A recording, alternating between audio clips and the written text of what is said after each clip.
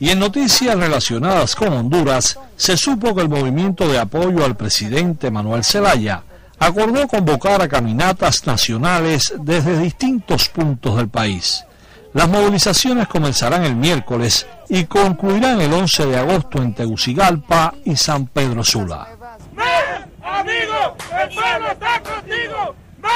amigo! ¡El pueblo está contigo!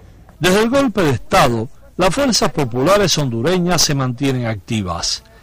Estas nuevas movilizaciones recorrerán las calles y culminarán con concentraciones en diversas zonas.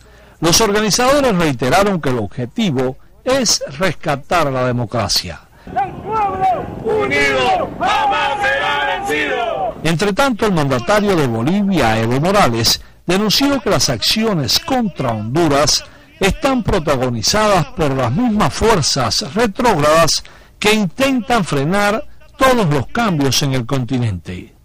Y en Honduras, un golpe de Estado. Lo que año pasado no pudieron en Bolivia, ahora pudieron en Honduras, pero van a fracasar, hermanas y hermanos. Si nos damos cuenta de lo que está pasando en Latinoamérica, es una lucha permanente de pueblos organizados con presidentes revolucionarios. Néstor Pardiño, Redacción Internacional.